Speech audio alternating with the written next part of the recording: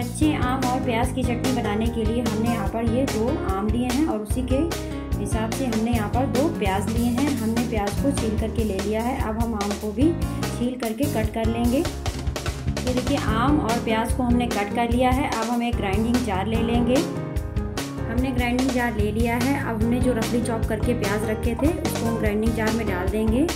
और उसके बाद उन आमों को भी डाल देंगे, जिनको हमने पील करके कट करके ले लिया है।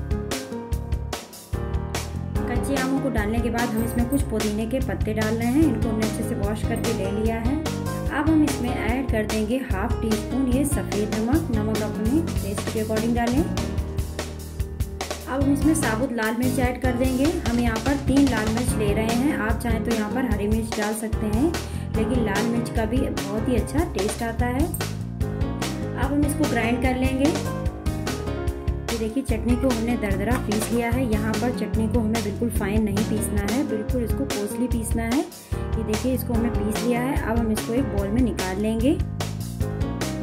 ये देखिए, अपनी चटनी को हमने एक बॉल में निकाल लिया है। बहुत ही ज़्यादा यमी और टेस्टी हमारी चटनी बनी है। इसको ज़रूर ट्राई करिएगा। गर्मियों में ये चटनी बहुत अच्छी लगती है। जब आप सत्तू वगैरह बनाते हैं तो उसके साथ भी चटनी बहुत ही ज़्यादा अच्छी लगती है। पूरी पराठे के साथ भी आप इसको एंजॉय कर सकते हैं। दाल चावल के साथ भी आप इसको इंजॉय कर सकते हैं। ये देखिए, अपनी चटनी को हमने सर्व कर लिया है और इसके ऊपर थोड़ा सा हमने पुदीना पत्ता लगा दिया है। इसको हमने गार्निशिंग करने के लिए। मेरी रेसिपी आपको कैसी लगी, मुझे कमेंट करके ज़रूर बताइएगा।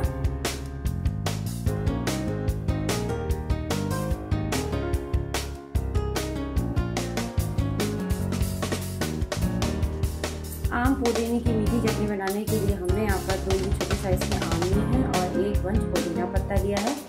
इनको हम तोड़ करके साफ़ कर लेंगे। सारी चीज़ों को हमने चॉप कर लिया है। अब हमें ग्राइंडिंग जार लेंगे। और इस ग्राइंडिंग जार में जो हमने आमों को कट करके रखा है, सबसे पहले उनको डाल देंगे।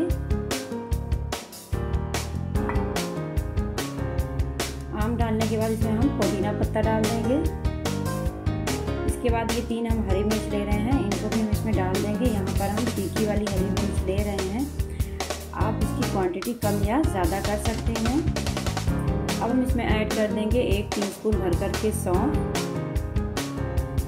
एक टीस्पून साबुत ज़ीरा। हम यहाँ पर कच्चा जीरा ले रहे हैं। दोनों का टेस्ट बहुत ही अच्छा था है सौंफ और जीरे का।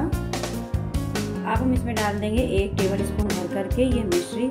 यहाँ पर दर्दी कुटी हुई मिश्री हमारे पास है। आप चाहें तो यहाँ पर शुगर का भी इस्तेमाल कर सकते हैं। और इसी के साथ हम इसमें डाल रहे हैं ये एक टेबल स्पून भर करके गुड़। देखिए गुड़ हमारी मेल्ट हो चुकी है, गर्मी के कारण। इसको हम इसमें डाल देंगे, बहुत ही ज़्यादा सौंधा सौंधा फ्लेवर आता है। अब इस चटनी को हम ग्राइंड कर लेंगे। हम यहाँ पर पानी नहीं डाल रहे हैं। आप चाहें तो थोड़ा बहुत पानी ऐड कर सकते हैं।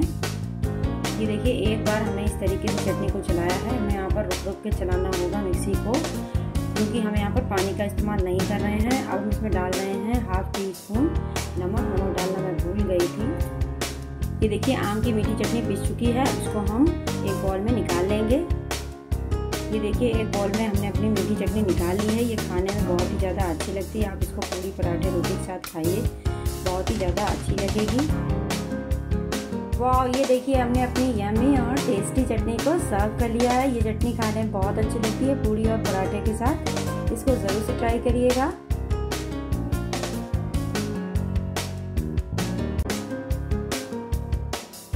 अब हम बनाएँगे कच्चे आम और नारियल की चटनी। तो उसके लिए हमने दो कच्चे आम लिए हैं, साथ ही एक कटोरी भर करके ये हरा वाला नारियल लिया है। नारियल के पीछे का जो ब्लैक पोर्शन होता है, उसको हमने रिमूव कर दिया है।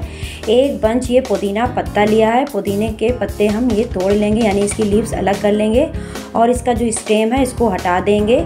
जो भी हार्ड पोर्शन है, इसको हमें यहाँ पर रिमूव कर देना है। आप चाहें तो इन स्टेम्स को फेंक सकते हैं या फिर इनको गमले में दोबारा से लगा दीजिए और इनसे फिर से इसी तरीके की लीव्स निकल आती हैं। इनको आप दोबारा भी यूज़ कर सकते हैं। ये देखिए, पुदीने के पत्तों को हमने तोड़ लिया है और आम के अंदर की गुठली निकाल करके उसको हमने कट कर लिया है। साथ ही हमने यहाँ पर कुछ करी लीव्स ले ली हैं और ये हमारा नारियल, इसको भी हमने चॉप कर लिया है। हमने एक ग्राइंडिंग जार ले लिया है और इसमें हम डाल देंगे हरी मिर्च। हम यहाँ पर चार हरी मिर्च ले रहे हैं। आप अपने मिर्च अपने टेस्ट के अकॉर्डिंग लें। अब जो हमने आम कट करके लिया था, उसको इसमें डाल देंगे। करी लीव्स डाल देंगे। साथ ही ये पुदीने के पत्ते भी इसमें डाल देंगे हम। पुदीने के पत्ते हमने यहाँ पर काफ़ी अच्छी क्वांटिटी में डाले हैं, क्योंकि गर्मियों में पुदीने का सेवन हमारे लिए काफ़ी ज़्यादा अच्छा होता है। अब जो हमने नारियल कट करके लिया है, उसको भी इसमें डाल देंगे। अब हम इसमें ऐड कर देंगे स्वादानुसार नमक। अब अपनी चटनी को हम फाइन पीस लेंगे।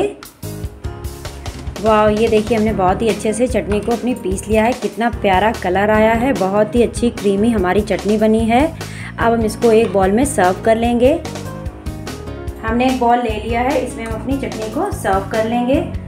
वाह, ये देखिए, बहुत ही अच्छी चटनी बनी है। आप चाहें तो अपने अकॉर्डिंग यहाँ पर कंसिस्टेंसी को थोड़ा गाढ़ा या पतला कर सकते हैं। हमें इसी प्रकार की चटनी पसंद है तो हमने इसमें बिल्कुल भी पानी वगैरह ऐड नहीं किया है। वाह ये लीजिए, हमने बहुत ही ज़्यादा यमी और टेस्टी प्लस हेल्दी चटनी को सर्व कर लिया है। अब हम इसके ऊपर थोड़ी सी गार्निशिंग करेंगे, उसके लिए हमने थोड़ा सा पुदीना पत्ता इसके ऊपर लगा दिया है। साथ ही हमने कुछ ये नारियल के पीसेस कट किए थे। इसको भी हम अपनी चटनी के ऊपर रख देंगे, जो कि बहुत ही अच्छे लगते हैं देखने में। वाह ये देखिए, बहुत ही चटनी अच्छी बनकर के हमारी तैयार हो चुकी है। अब हम बनाएँगे आम की तीखी चटपटी चटनी। तो उसके लिए हमने यहाँ पर एक बंच ये धनिया पत्ता लिया है। उसको हमने अच्छे से वॉश करके ले लिया है। साथ ही इसके लिया है एक बंच ये पुदीना पत्ता। दो आमों को इस तरीके से हमने चॉप करके ले लिया है। पुदीना और धनिया को भी हम तोड़ लेंगे। खट्टी चटनी बनाने के लिए हमने ग्राइंडिंग जार ले लिया है और इसमें हम पुदीना और धनिया के पत्ते डाल देंगे। साथ ही जो हमने आमों को कट करके रखा है, उनको भी डाल देंगे। अब हम इसमें डाल देंगे चार से पाँच हरी मिर्च।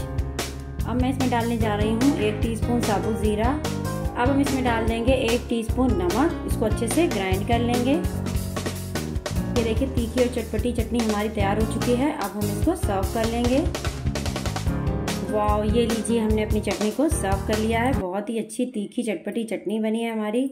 मेरी ये रेसिपीज़ आपको ज़रूर पसंद आएगी। मुझे कमेंट करके ज़रूर बताइएगा कि मेरी ये चटनी की आज की वीडियो आपको कैसी लगी। लाइक और शेयर करें मेरे वीडियोज़ को। मेरे चैनल इंडियन फूडी फूडी को सब्सक्राइब करना बिल्कुल भी ना भूलें। बेलाइकन ज़रूर दबा दीजिएगा, ताकि आने वाली वीडियोज़ की नोटिफिकेशन आपको जल्द से जल्द मिल सके। Thanks for watching